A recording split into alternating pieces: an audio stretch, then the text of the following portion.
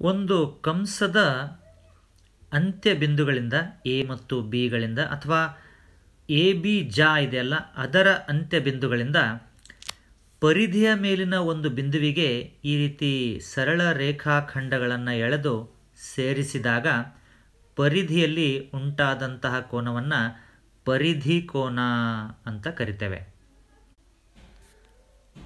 ಒಂದು ಕಂಸದ ಅಂತ್ಯ ಬಿಂದುಗಳಾದ ಪಿ ಮತ್ತು ಕ್ಯೂನಿಂದ ಅಥವಾ ಪಿ ಕ್ಯೂ ಜ ಅಂತ ಪರಿಗಣಿಸಿ ಅದರ ಅಂತ್ಯ ಬಿಂದುಗಳಾದ ಪಿ ಮತ್ತು ಕ್ಯೂನಿಂದ ವೃತ್ತದ ಕೇಂದ್ರದ ಕಡೆಗೆ ತ್ರಿಜ್ಯಗಳನ್ನು ಎಳೆದು ಕೇಂದ್ರದಲ್ಲಿ ಒಂದು ಕೋನವನ್ನು ಉಂಟು ಮಾಡಿದರೆ ಅದನ್ನು ಕಂಸದಿಂದ ಉಂಟಾದಂತಹ ಕೇಂದ್ರದ ಕೋನ ಅಥವಾ ಜಾದಿಂದ ಉಂಟಾದಂತಹ ಕೇಂದ್ರ ಕೋನ ಅಂತ ಹೇಳ್ತೇವೆ.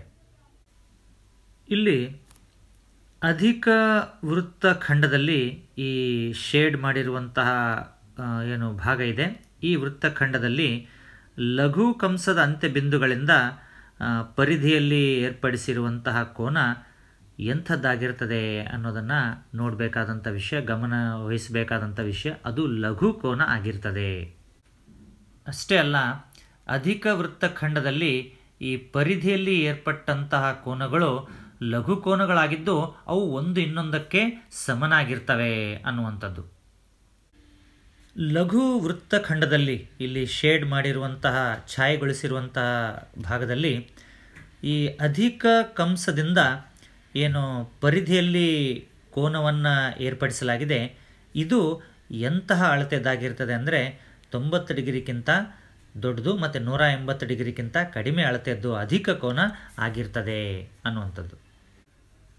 ಅಷ್ಟೇ ಅಲ್ಲ, ಈ ಲಘು ವೃತ್ತಖಂಡದಲ್ಲಿ ಪರಿಧಿಯಲ್ಲಿ ಏರ್ಪಟ್ಟಂತಹ ಕೋನಗಳು ಅಧಿಕ ಕೋನಗಳು, ವಿಶಾಲ ಕೋನಗಳಾಗಿದ್ದು ಅವು ಒಂದು ಇನ್ನೊಂದಕ್ಕೆ ಸಮ ಕೂಡ ಆಗಿರ್ತವೆ.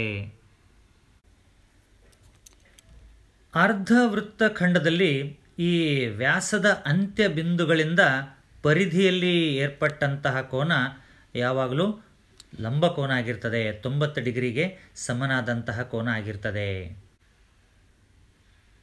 ಈ ಅರ್ಧ ವೃತ್ತಖಂಡದಲ್ಲಿ ಪರಿಧಿಯಲ್ಲಿ ಏರ್ಪಟ್ಟಂತಹ ಕೋನಗಳು ಲಂಬ ಕೋನಗಳಾಗಿದ್ದುಕೊಂಡು ಅವು ಒಂದು ಇನ್ನೊಂದಕ್ಕೆ ಸಮ ಕೂಡ ಆಗಿರ್ತವೆ.